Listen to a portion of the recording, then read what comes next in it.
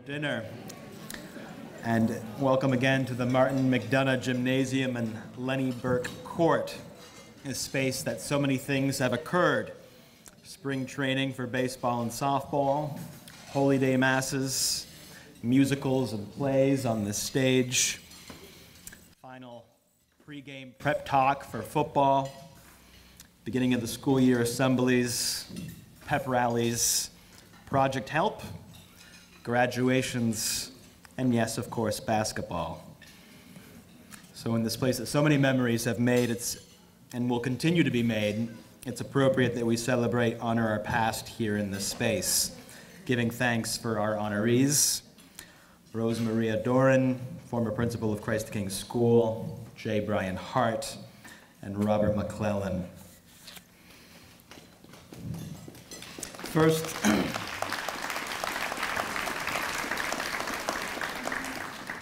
First, some acknowledgments.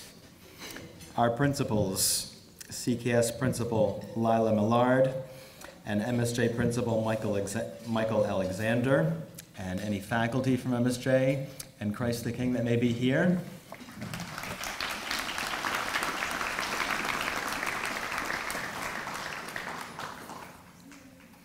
Our development office, Kathy Bove, Carrie Savage, and our new Director of Development, Brooke Duffy.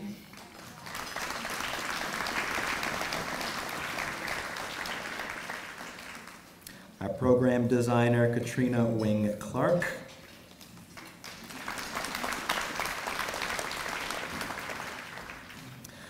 Our solicitors for the program advertisements, Frank Trombetta and Sarah Harvey.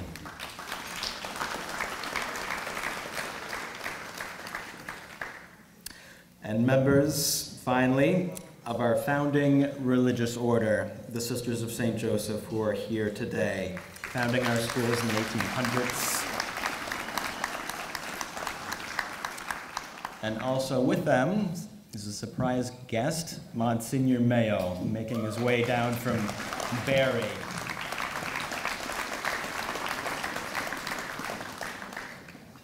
And I'll have some further acknowledgments later in the evening. At this time, I would like to invite Carrie Savage and Francesca Bove forward.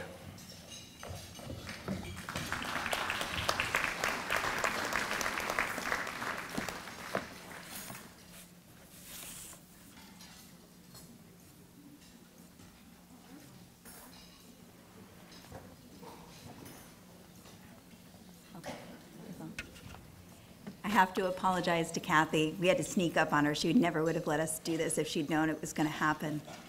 Um, we have to thank Kathy Bove tonight for this um, this event, which she has so flawlessly put on, and so many people have enjoyed over the years.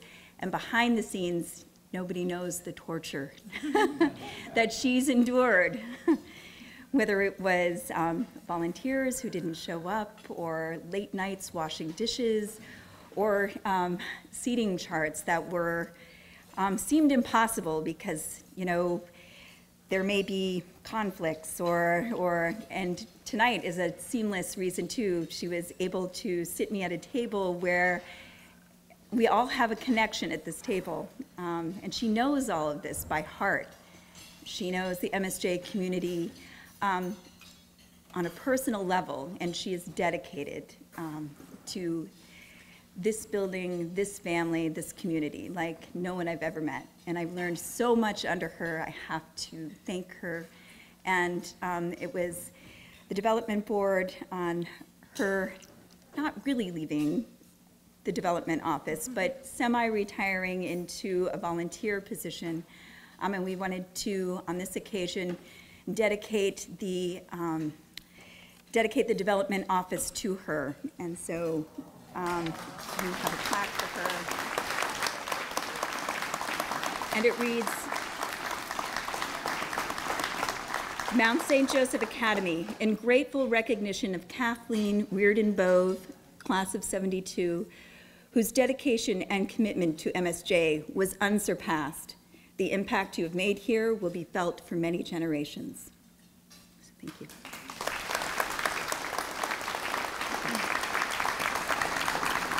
And I spoke to Carrie um, just to say a few words uh, about my mom tonight, about her, I, I say this in air quotes, retirement uh, from MSJ. Uh, my mom grew up on Crescent Street and attended St. Peter's and MSJ. After getting a nursing degree from UVM, uh, she was a head nurse at floors at Fanny Allen and then later in Cleveland. Uh, while she enjoyed clinical nursing, she liked best the business part of the job and went back to school after she had four kids and got a uh, master's in administration from St. Mike's in 2003. She joined MSJ as the development director in 2004 on the heels of Jane Aberline and Jean O'Rourke. What might have been simply a job to anyone else was a vocation to my mother. While she never uh, was full time on the books, she undoubtedly averaged over 40 hours a week uh, for her 15 years because with my mom, the wheels never stopped turning when it came to MSJ. Golf tournaments, annual appeals, alumni relations, you name it, she never missed a beat. MSJ is her passion, and certainly a development director is a person who raises money. But to my mom, her vision at MSJ was clear. As she always said, this is about the kids of MSJ. Her goal was making a quality, faith-based education available to the students of Rutland County. And every dollar raised helped, helped raise uh, help students achieve that goal, whether it was for scholarship, computers for technology, musical instruments, or the science lab. She never lost sight of why she did what she did, which is why when she reaches out to MSJ's very generous donors, the donors respond. It is not hard to ask people's support for a cause you believe in in your bones. So tonight we're honoring her retirement, which I can say is just a change to full-time volunteer status. Uh, as a case in point, she uh, organized this dinner tonight. And the development committee has generously voted to name the development office after her. I know I speak on behalf of my siblings when I say that our hope for anyone who sits in that office for years to come is that they are able to bring at least some of the passion that my mom has brought to the position and realize that, as my mom always has, MSJ is about the kids. So congratulations to my mom on her promotion to full-time volunteer. It's amazing to see what she has accomplished throughout the years and what you will accomplish in the years to come. Thank you.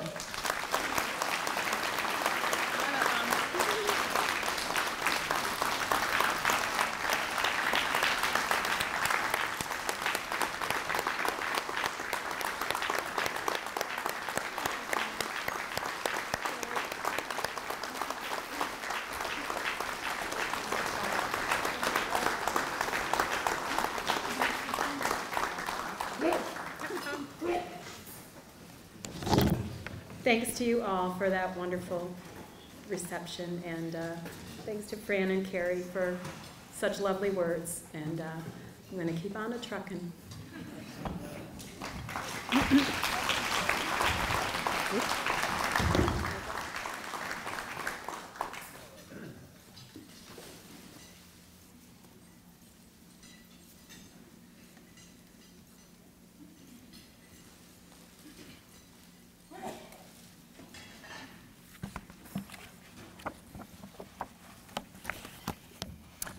Reminder that the, uh, got introduced to this concept of a new uh, fundraiser, the wine pull, that is still going on in the back. So You might walk out with a surprise $60, $60 bottle of wine. That's going on in the back. Some acknowledgements for our overall culinary and environment team. Great thanks to Wally Sabatka for the amazing meal tonight and for his staff to serve us.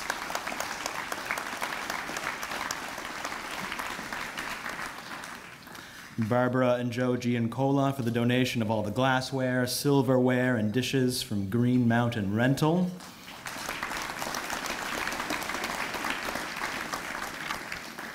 Mark Foley and Foley Services for the donation of linens.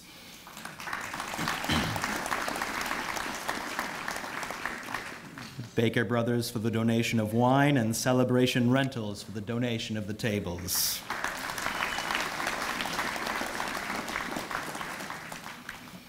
And for the team making this all happen, Carol Wasek, as always, for her expertise, planning, setting up, And to our volunteers, Teresa Saher, Teresa Howard, Eileen Bride, Wayne Young, and Tim Collins. And to our many students. And to our many students looking so sharp in those green blazers, huh?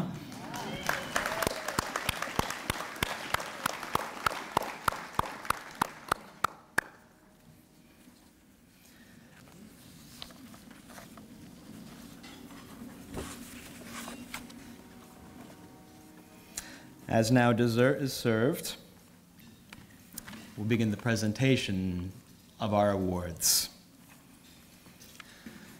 The award of Distinguished Faculty, I would now invite Marge Barbagallo and Pauline Hackett forward.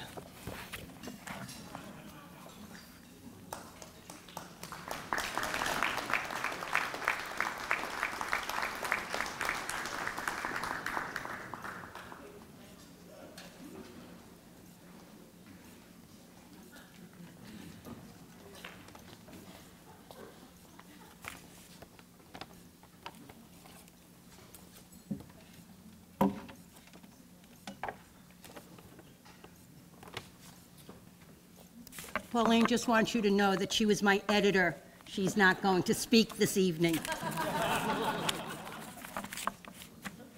This evening, I have the great pleasure to introduce Rose Maria Doran. Rosie has continually demonstrated her strong belief in Catholic education. We've read or heard all the accolades about Rosie. However, there are many other facets to her. There is her spiritual side, the educational side, the quirky side, and the get it done side. Her entry into education was unbelievable, to say the least. Take a moment to think about this.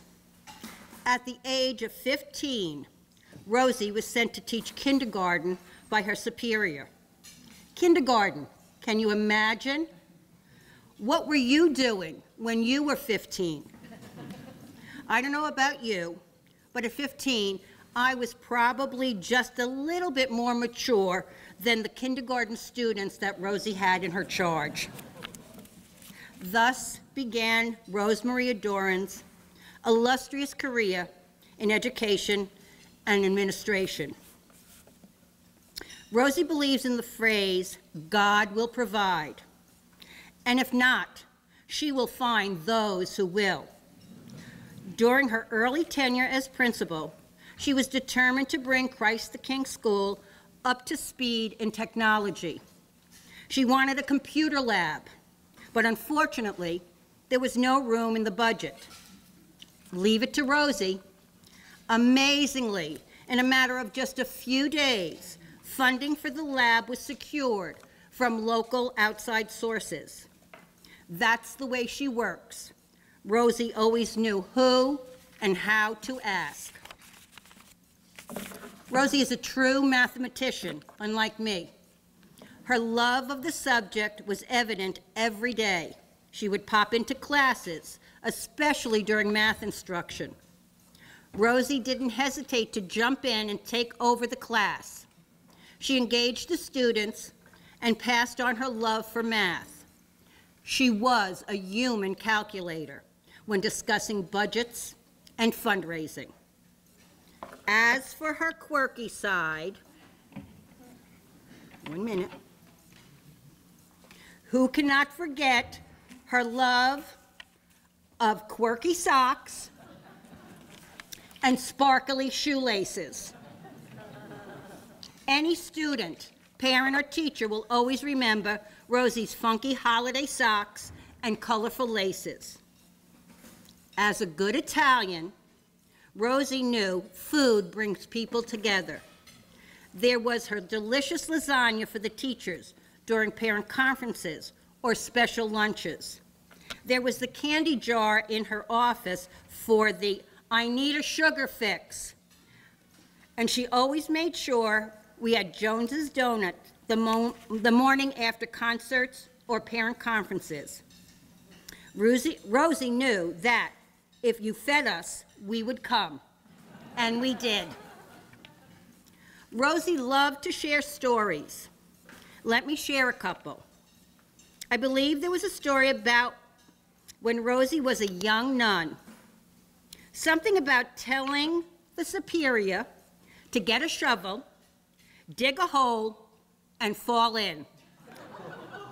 She never lost the ability to let people know how she felt. Another story involves Rosie and her closest lifelong friend, Mary Jo.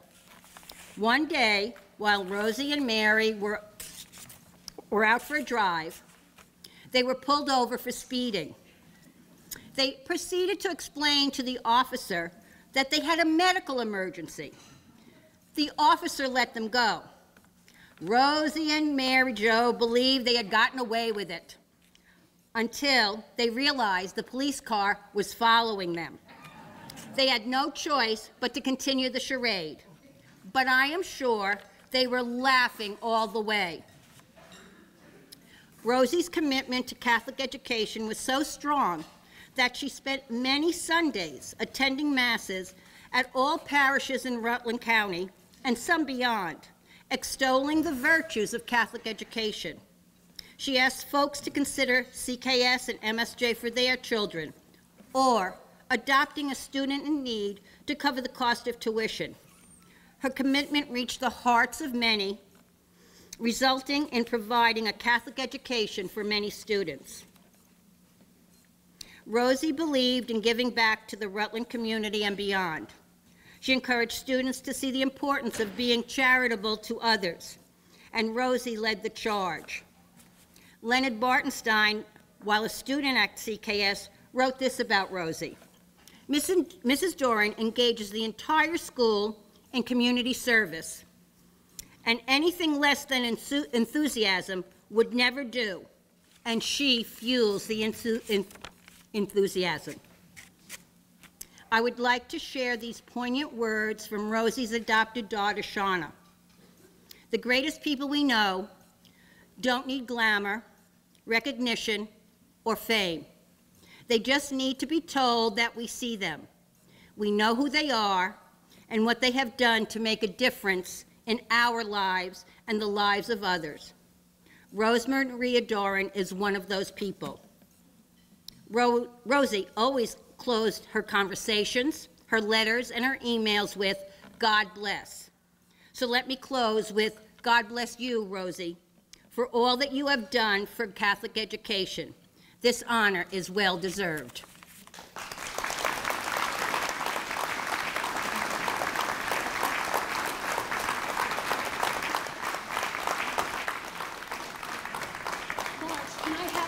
Yes. yes. I can have these.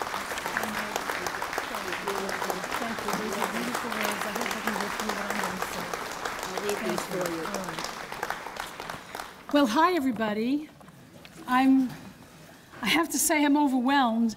I didn't think Marge thought of me like that. Thank you, Marge. She gave my whole speech. Everything she said, I was going to say. So I'm thinking I'm going to liven up this whole place a little bit. You're going to sing with me. Who can make the sun rise? Come on. Who can make the sun rise? Sprinkle it with dew. Do you know where that comes from? The Music Man, right. No, not the Music Man. Candyman, Willy Wonka. Now, why would I mention Willy Wonka? I'll tell you why. Because that was one of the plays that Christ the King School performed under the leadership of Sister Cindy. One of the plays. Can anybody here tell me how many plays we did? Shame on you. Any former students of Christ the King here? Any, fo- oh, Riley. Can you tell us? Can, any former parents? Mary Lou, you worked on many committee. Many, many. You made costumes. Okay. Well, we had the most marvelous musical director for 13 years at Christ the King, nine of the years that I was there. And she had every single student in the school performing. Music Man, Annie, Godspell, Willy Wonka, Amazing Technicolor Dreamcoat, A Star is Born, Something is Up in Bethlehem. Our children got to learn what it meant to give their voice, thanks to Sister Cindy, who has now gone to God. Now, I wasn't going to start my little talk with that, but I just couldn't help it when Marge said all those things, and I didn't want to be so boring. So I, I don't think boring was ever used when it came to describing me. Was it ever anybody that knows me? I don't think so. But I think tonight I was going to be a little boring. So I'm just going to give you some things, some of my thoughts, the things that I thought about. What was it about Christ the King School that was so special in my life? What did Christ the King School do for me? I know what I did for Christ the King School, and I know that many of you know. I have to go back to the computer story about the money. The reason I have to go back to that story is because Father Mayo was on vacation. And nobody raised money without Father Mayo being there. And by the time Father Mayo came back, we had $75,000. and I had to go sit in Father Mayo's office and make a report. And I had to give him that money, and my knees were shaking and my, my voice was quivering. And I handed him the envelope, and he said, What's in here? I said, Father, just look inside. So he looked inside, and he's looking at all these checks and all these people that had given money. And he says, Rosie, there's over $70,000 in here. I said, I know, Father. He said, Where did it come from? I said, Well, one of our dear dads called everybody up that he knew and said, Christ the King needs computers. You got to give. Who gave 2,500? Who gave 1,000? Who gave a 3,000? Who gave 500? How many of you in this room gave to that effort? It was, a, yes, I see a couple of hands in the back. Thank you. If you gave to that effort, thank you so much. So then Father said to me, What are we going to do with this money? No, I said, Yeah, what are we going to do with this money? I said, Well, what do you mean, Father? We can't keep it? I have to give it back? He said, Rosie, these people gave money in good faith, and we're going to use it for what they gave it to us for. And I thank you, Father, for that. I thank you for trusting me enough. So that was one, I had to clarify that story. I just had to let you know that. There were so many things that were happening at Christ the King that it's hard to talk about. And I try to um, uh, compare it. I'll read a little passage to what Christ the King means to me. The very best gift is that anyone can experience those unexpected twinkles of joy that make a magical moment. At these moments, you feel true, deep joy because of a great new insight, a beautiful prospect, or a glimpse into the radiance of another soul. They are the magic moments when life seems better than you ever realized. This is what being in the CKS community did for me. It gave me unexpected twinkles of joy every day and great new insights in magic moments, making it better than you ever realized. Being principal of Christ the King School was like being in the magic kingdom. It was magic when I got to school every day and I walked into classrooms. I met parents on the playground. I went, met teachers. It was magic when students came to my office under the guise of wanting to say hello. But why do you think they really came to my office? Who can tell me? Candy, you got it. All right, they knew I had that candy jar. And guess what? If you look on your tables, you'll find Lynch chocolate. And the reason the Lynch chocolate is there is to sort of look like my candy jar, although it doesn't really. But it, you, you can imagine, okay? Since we're in the world of magic, imagine that candy in a jar. I asked we would gather for prayer service. Prayer services. How many of us of you came to our prayer services? Anybody ever come? Don't be afraid. Raise your hands. Come on. Okay. Yeah, well, you were in them. yeah. And Brian, I'm sure you were in them too when you were there. Yes. So our prayer services were like magic. all of the children would get up and they would put together this beautiful theme of something.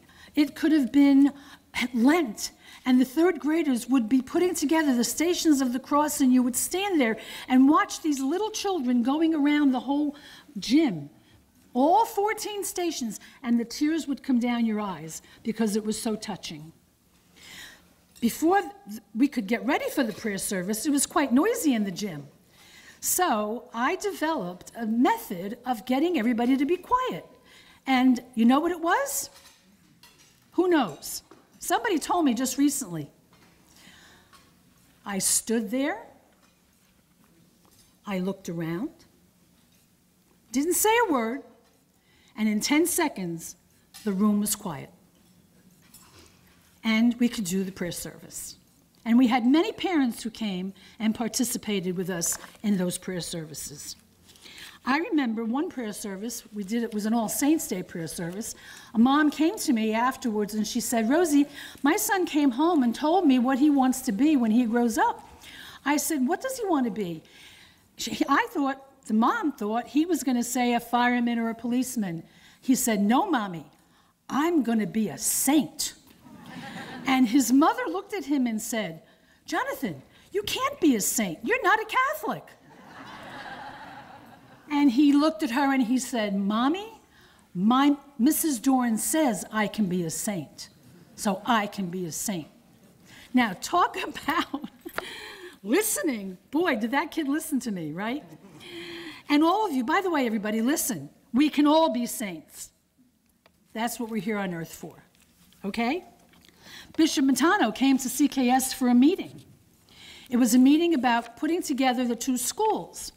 The younger children were not invited. They wanted to be, but they felt it was going to be too long a meeting for them. So, what did I do? I had the teachers line the kids up on the sidewalk outside the school.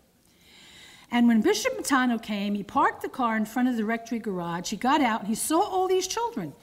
And, I, and he was coming up the steps. I said, No, Bishop, these children are here to greet you. You have to go around and greet every one of them. So he went around and he shook the hand of every single child waiting for him on the sidewalk.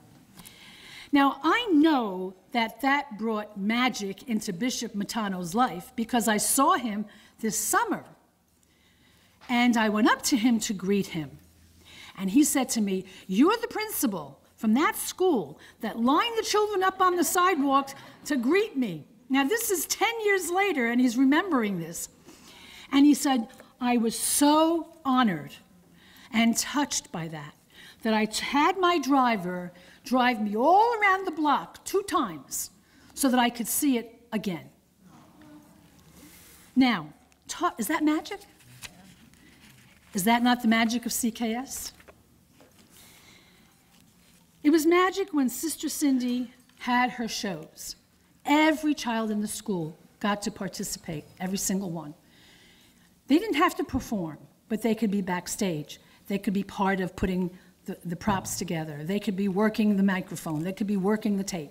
Every child. What do you think that did for all those children? Children that might have felt out of place. It gave them all such confidence in who they were, and some of them have gone on to work in the, uh, the field of music today. That's nice to know, isn't it? We also were in the business of service, as, as Marge pointed out. Service to me was very important. I wanted our children to learn that they're, they've been blessed and others not so blessed, and we have to help them out when they're not so blessed. So we would send food around the community, but we also got involved in big things like how many heard of the school supplies we sent to the Iraqi children in Iraq? 7,000 supplies that our children collected. Those Iraqi children were delighted. We got their pictures back with all of the supplies in front of them. One of the best musicals we ever did, and you've got to hear, you've had to hear about this one. How about the Paramount? If you heard about the musical in the Paramount, raise your hand. Kathy, you raised your hand every time. Thank you. Kathy and, and Ernie, they're raising their hands every time, and Mary Lou. Because, listen, folks, you, you didn't, was, it was that well kept a secret that nobody knew that we were at the Paramount for two nights, sold out? It was an amazing, amazing accomplishment. Thanks again to Sister Cindy and the beautiful parents who helped her and who taught the kids. We had 80 children on the stage at the Paramount, 80, dancing, all going in the same direction. Every single one of them. You know what kind of a feat that is? Okay, I'm getting to the end. I know you can't wait for me to stop. It was magic watching our children compete in sports teams and learning so much about how to stand on their own two feet and be part of a team. It was magic when Father Mayo came to visit the classrooms and the younger children thought he was the Pope. they would ask me, Is the Pope coming, Mrs. Dorn?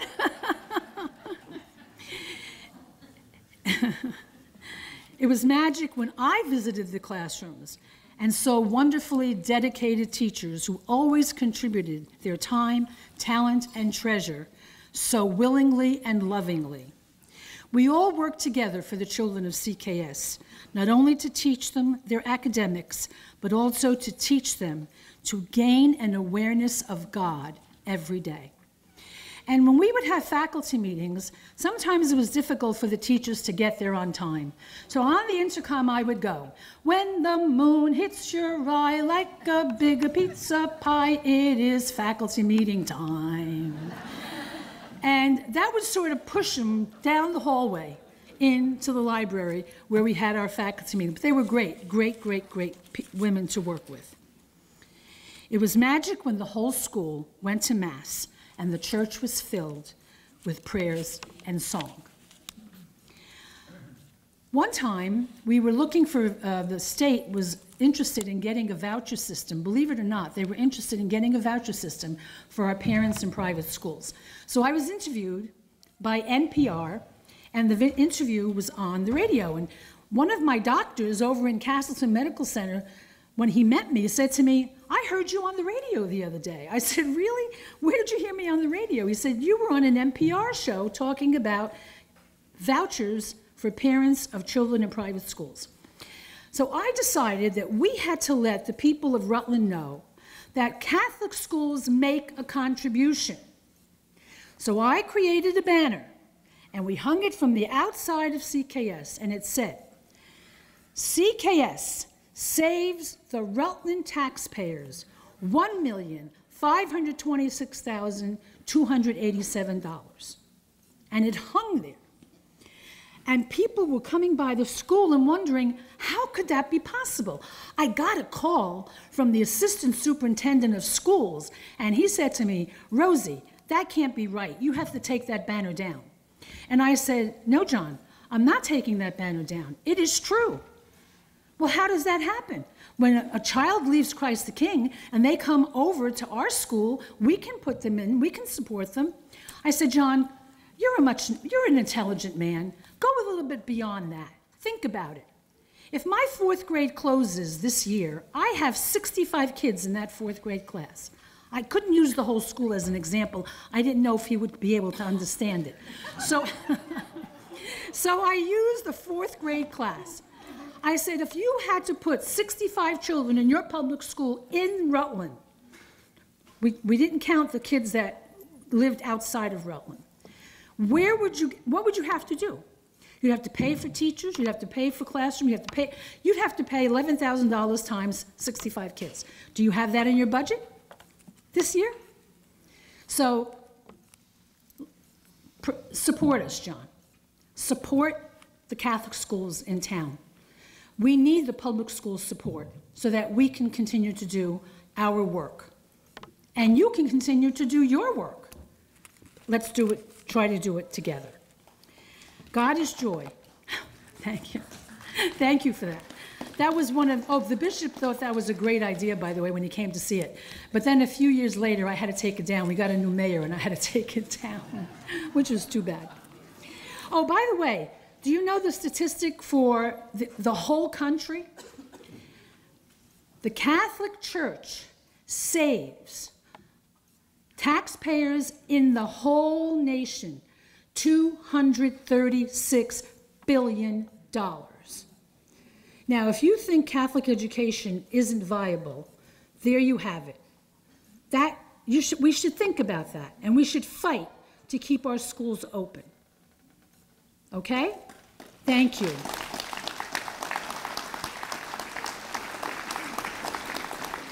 God is joy. Our gospel is a gospel of joy, and there, are, there was lots of joy in our magic kingdom. The joy of the gospel, the joy of a loving school community, the joy of smiles, magic.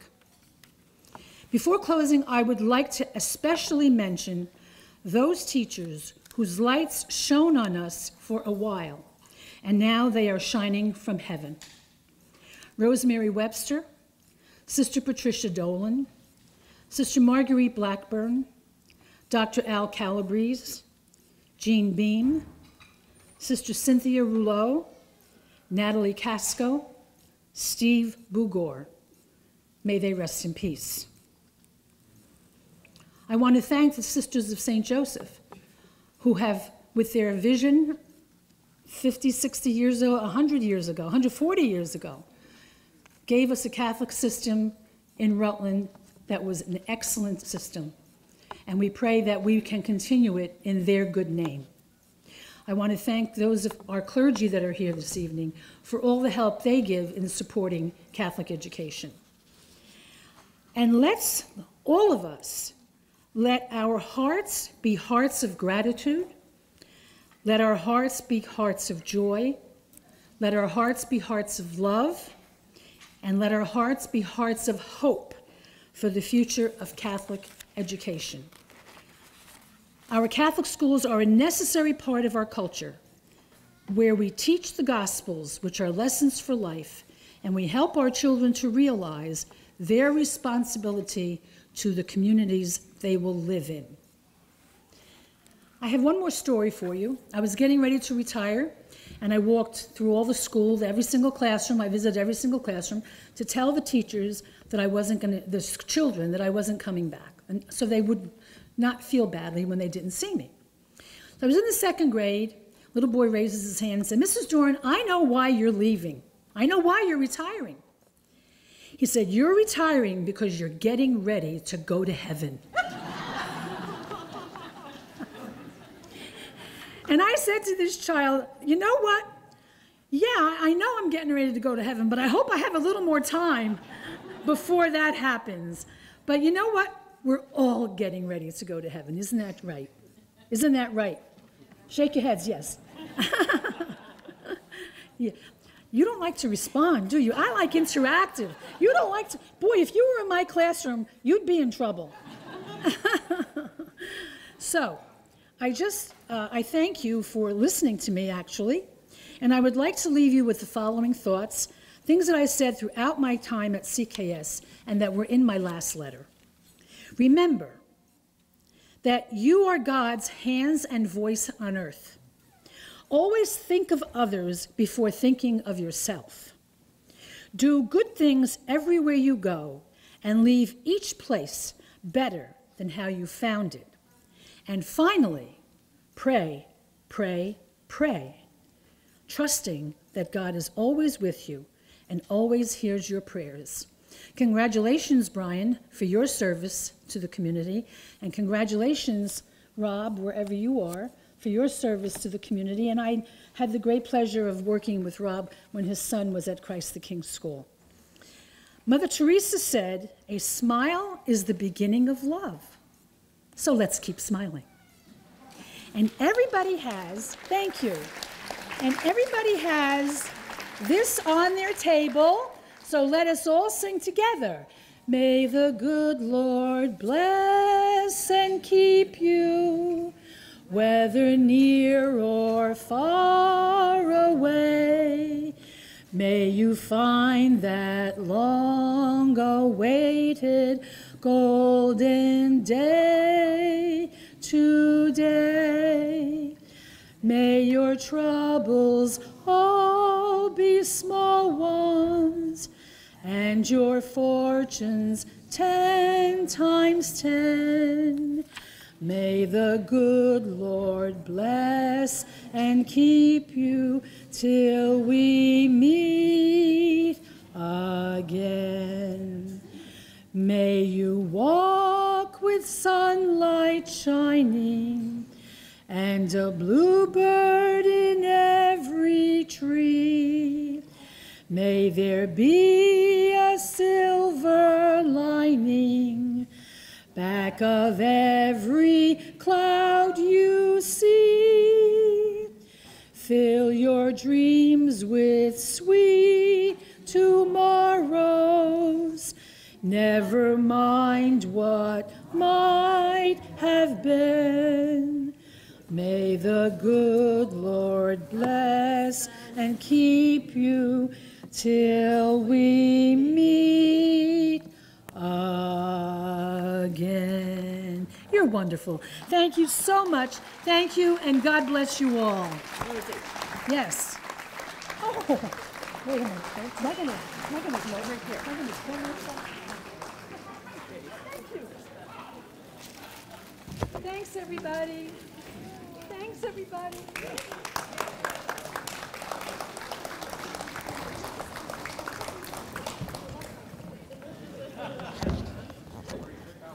And you weren't, when you were in school. I just want your trip. Thank you. Okay?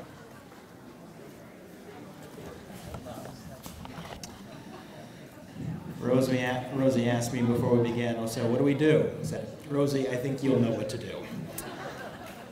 Congratulations. Three hundred and forty dollars. And for 50-50. Break out your tickets. 018-792. 018-792.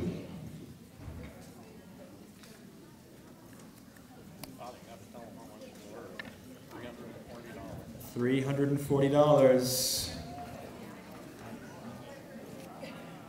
Zero one eight seven nine two. We have a winner.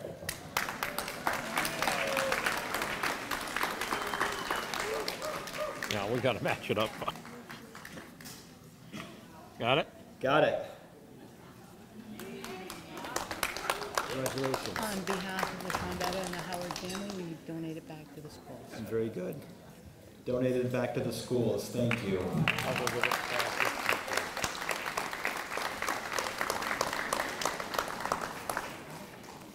And a word of thanks to Terry Cors- Corsones for our dessert, both cake and ice cream this evening.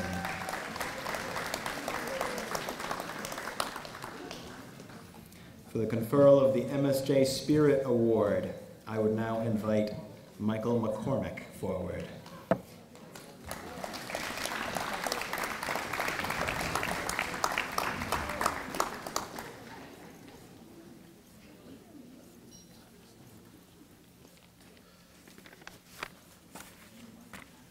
Good evening. First, I'd like to congratulate Rosie and Brian on their awards. And uh, it is my pleasure to introduce Rob McClellan as this year's recipient of the MSJ Spirit Award. Rob grew up on Birchwood Avenue here in Rutland and attended Christ the King School. In the spring of 1965, he was about to graduate from the eighth grade, and that is where our paths crossed. Rob and I met while attending a CKS graduation party at the home of one of Rob's classmates. I went to IHM, so I may or may not have been officially invited. Uh, I met Rob and many of the other CKS, soon to be MSJ students that night, and we all hit it off famously.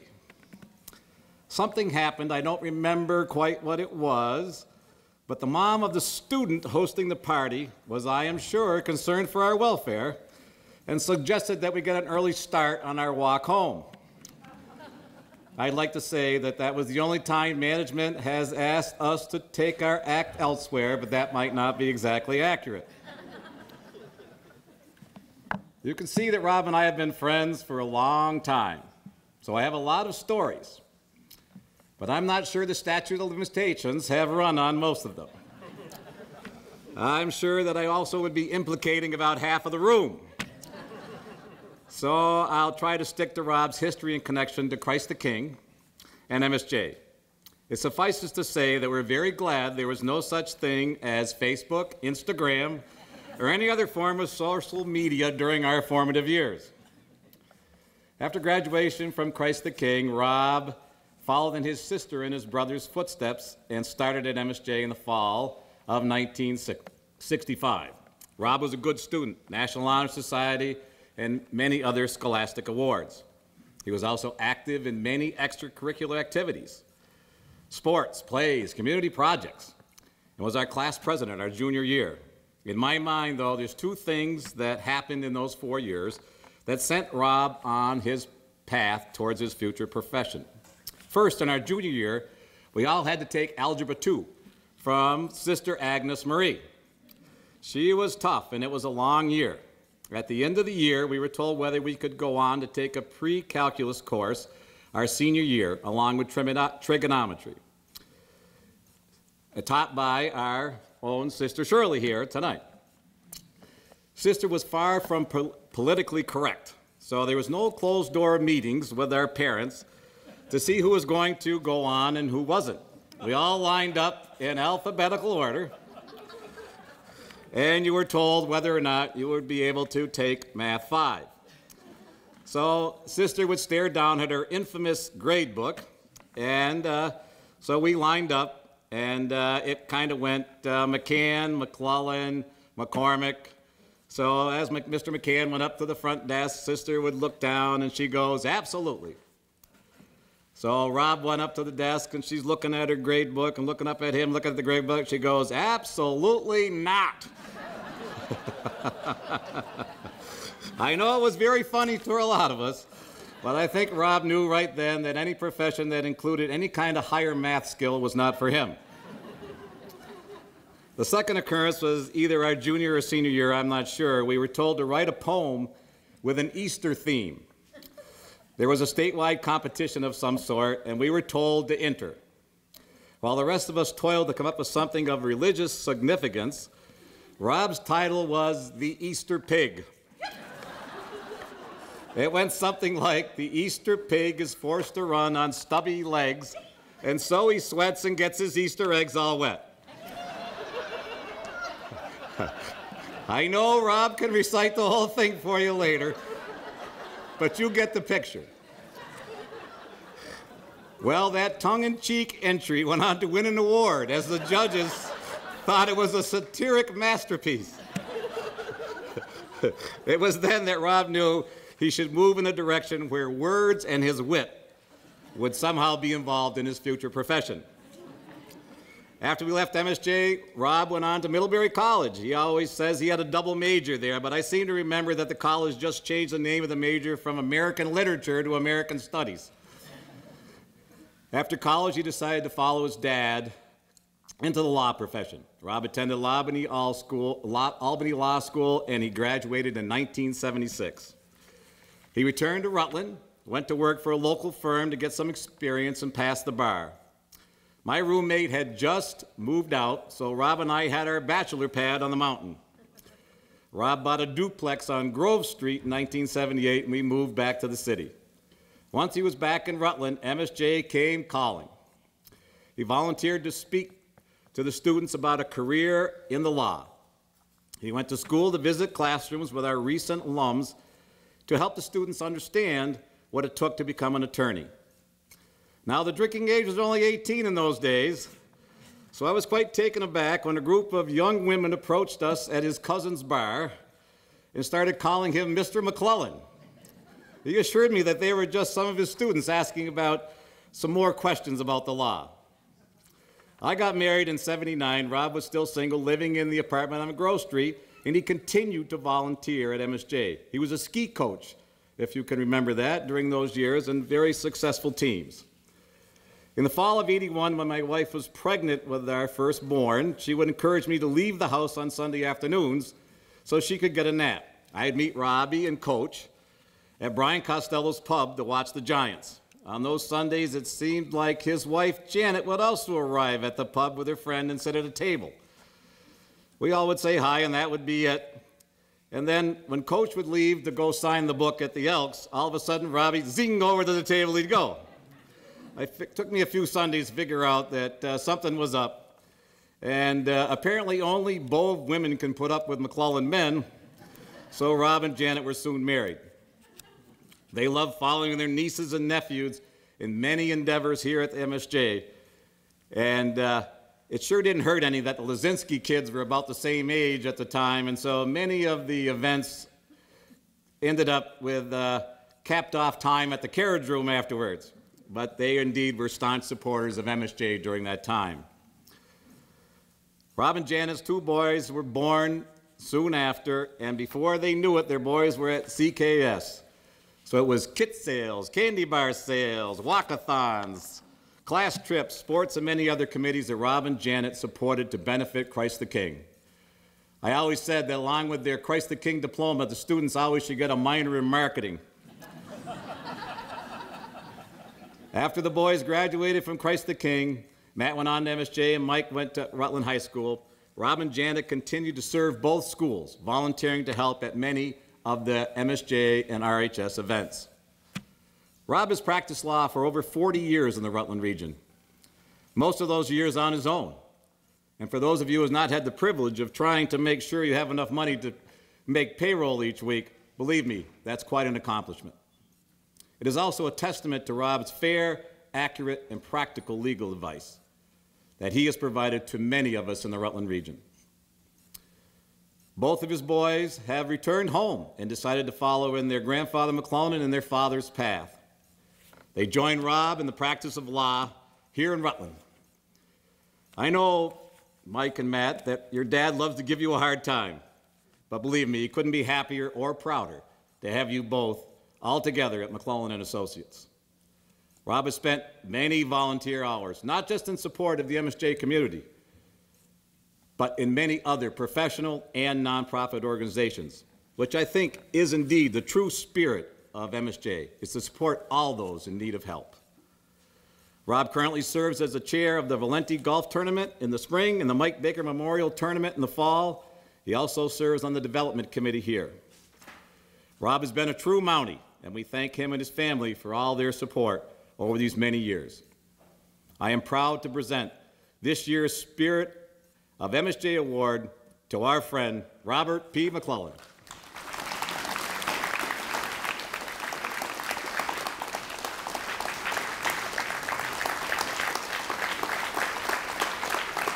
Thank you.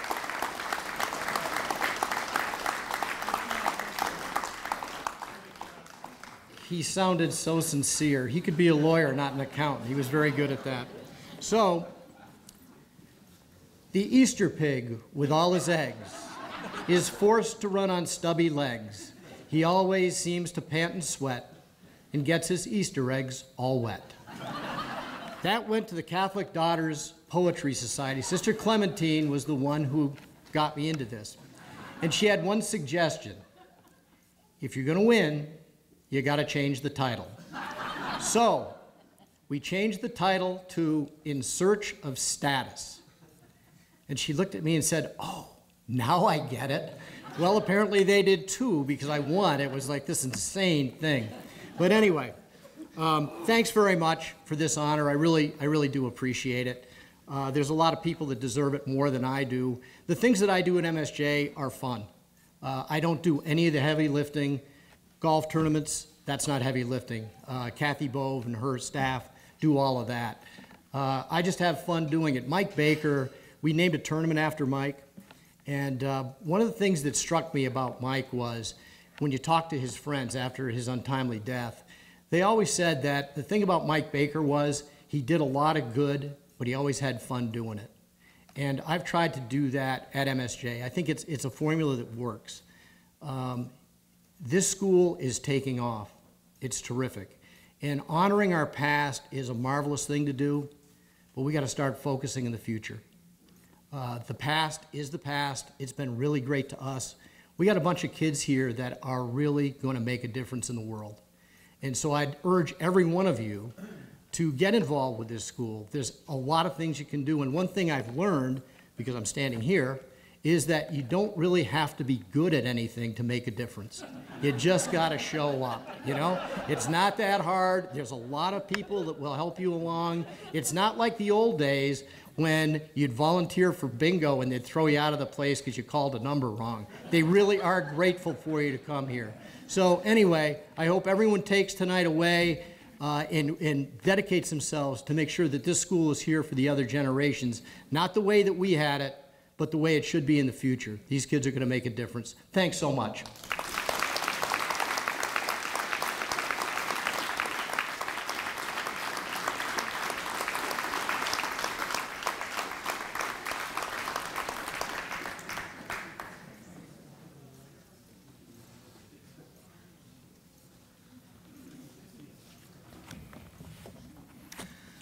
The conferral of the Un- Unsung Hero Award, I would now invite Richard Freed forward.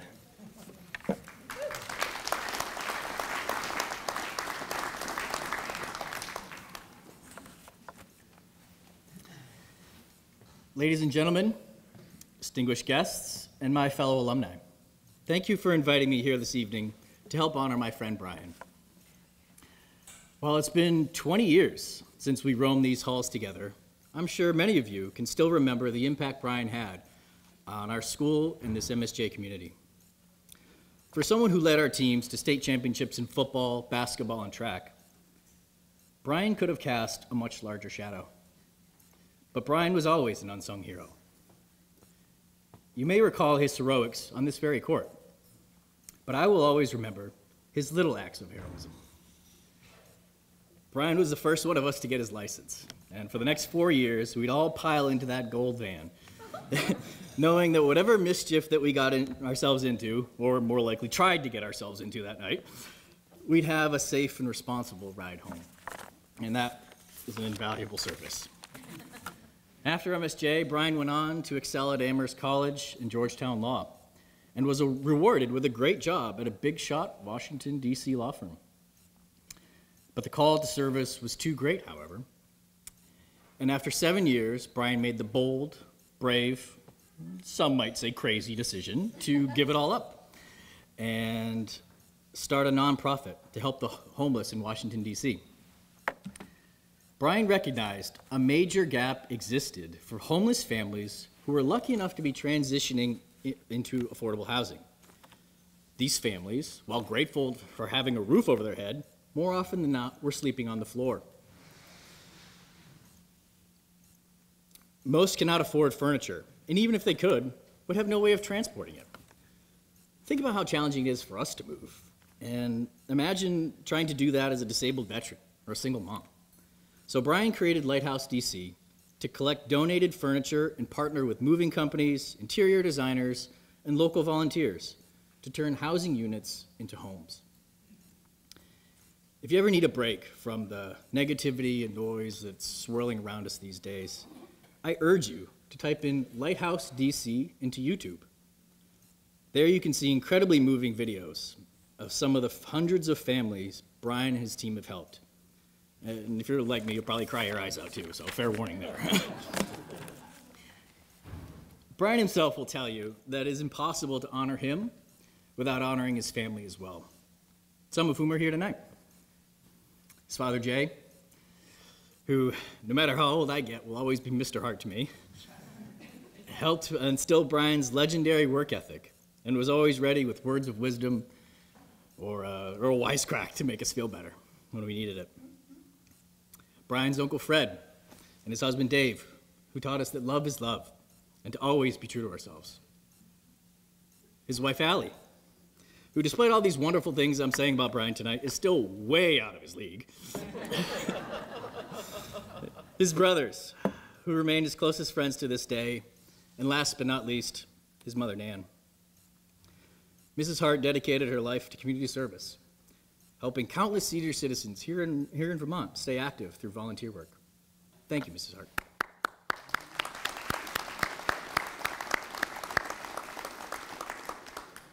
So when the opportunity came to form a company to commercialize my uncle's stem cell and gene editing technology, I knew I had to recruit Brian.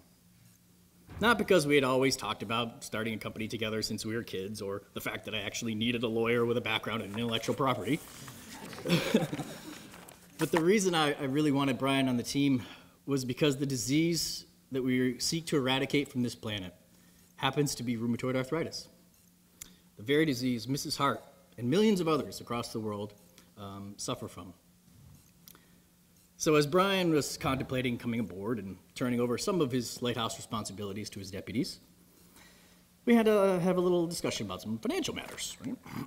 I asked him, "So how much are you uh, taking in salary these days from the lighthouse?" And he said, "Well." So I'm still trying to make sure Lighthouse is on solid ground and we have more than enough resources to take care of all the families that, um, that we're working with, um, that, he, that he still wasn't taking a salary. Imagine that. Gave up everything to help all these people and still wasn't taking a salary. So I said, perfect, I can match that. and the rest was history. I will be forever grateful to Brian and the Hart family for the road we have traveled together, and for the journey ahead. The world needs more unsung heroes. But for one night, please join me in thanking Brian for being my friend, my brother, and my hero. Thank you.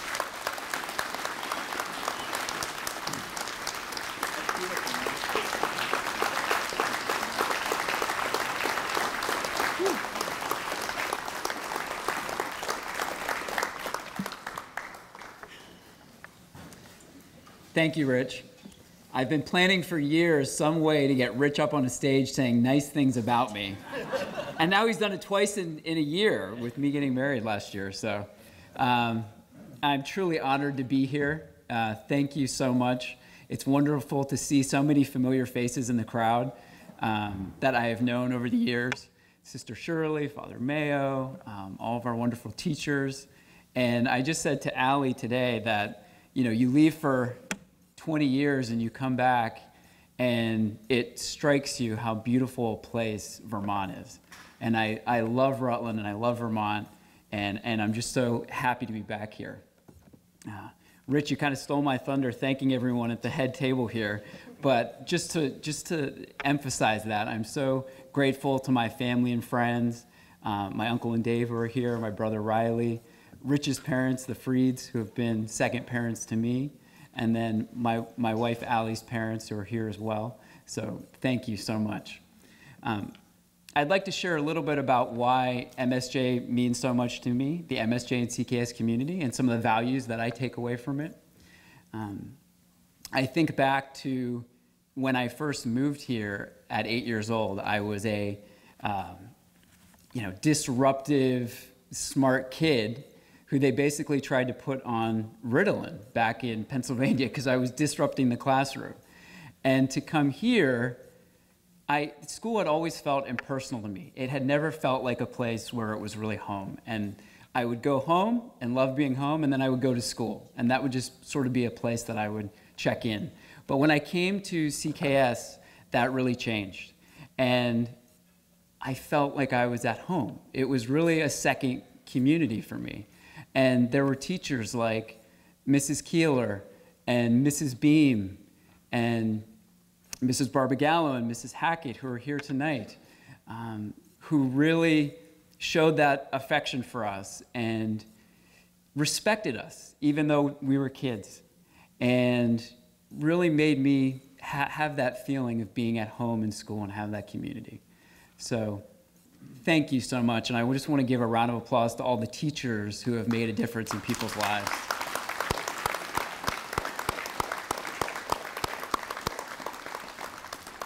So the, the second value for me that was instilled in me over the years was, was this principle of being kind and caring to people. And, you know, CKS and MSJ, are, I guess, are a little bit sneaky about it in the way that they instill that in you. Um, you have volunteer hours and you have service requirements that you have to hit. Um, and at the time, it feels like just another obligation that you would maybe not want to fulfill as a kid. So it's almost like the Karate Kid. You know, it's like wax on, wax off. And then years later, you realize Mr. Miyagi was really teaching you something very important. And I think Project Help is a great example of that. Um, we would go out over the holidays and collect food and, and toys and give them back to um, homeless and, and low income families here in the city. And at the time, you think, oh, this is kind of a day off from school and we get to drive around and go get McDonald's and hang out. And now, you know, reflecting back on that, um, it really is, it is, is so meaningful. I mean, I imagine a family, a young family with two daughters, not having a proper meal or the toys for their two daughters at Christmas time. And the fact that we had the opportunity to really bring joy to them over the holidays, it's such a, it's such a powerful thing. And it's something that I think I've really taken with me in my life and, and in my work. Um, the third value for me was this idea of commitment. And we, of course, had commitment in the classroom, and there's self accountability with your studies, which is important in life. Um, and there's commitment to uh, the church and to our school. Uh, but the third area for me that was so meaningful was, was commitment in extra, extracurricular activities, and particularly sports. And I have to say that sports have taught me a tremendous amount about life. Um, it, because it showed you the commitment that you have to make, yes, to hard work and to persevere, but also commitment to each other and commitment to a higher purpose than yourself.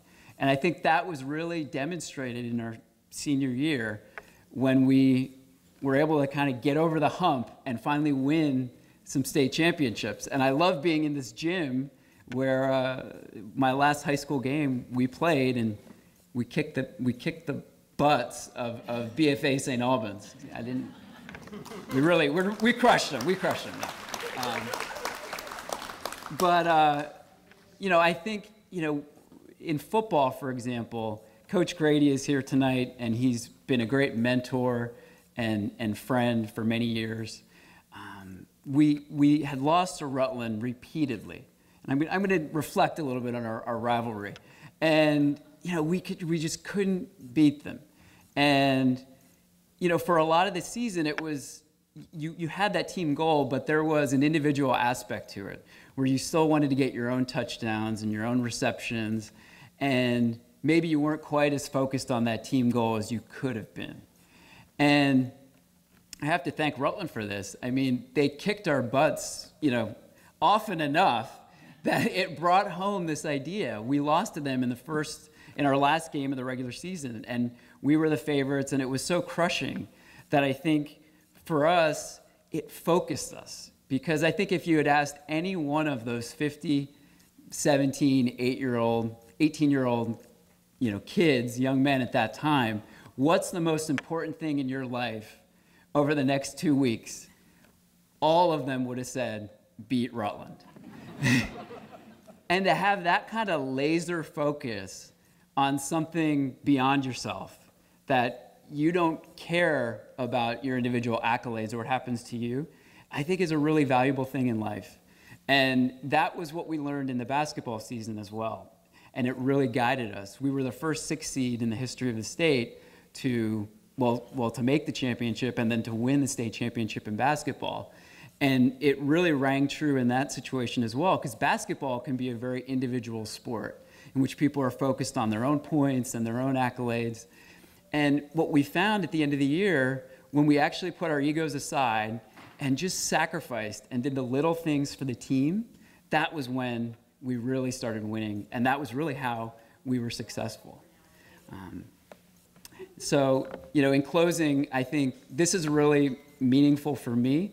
Um, it's a great time to reflect. Um, my parents just moved to Reston, Virginia. They retired, so it's very meaningful for that reason. And my wife and I are expecting our first child in December. So it's a good time to, thank you. It's a good time to reflect on education and, and what it means to me as a parent going forward. I think I'd like, ju- like just to end by saying that, um, you know, whatever good fortune comes my way, or whatever obstacles or challenges I face, you have my word that I will always remain true to you and the values that the CKS and MSJ community have instilled in me. So thank you so much. I love you all, and have a wonderful night.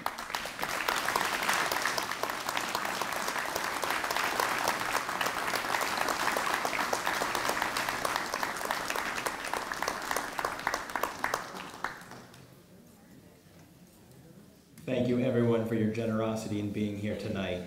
To close our evening, I would invite my fellow alumnus, Father Dick Tinney, forward for the benediction.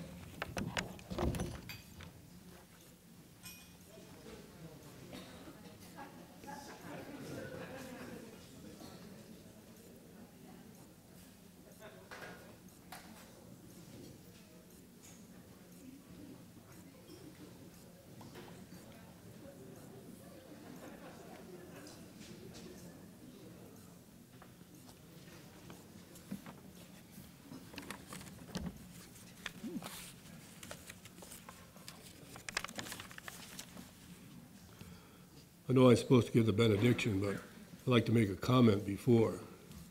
62 years ago, I graduated from this place. And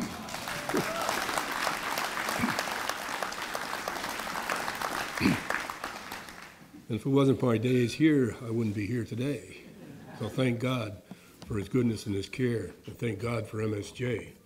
Also, I was looking at the bleachers back there, and back in 1957 or that area when this gym was built, I was able to help put the first bleachers in. So that was quite a few years ago. So time flies when you're having fun. But we do appreciate all the hard work that the people have put into this evening and for all that they do to keep MSJ alive and well and going. And so I praise all you people for being here tonight and for supporting and caring for this wonderful, wonderful institution. So let us pray.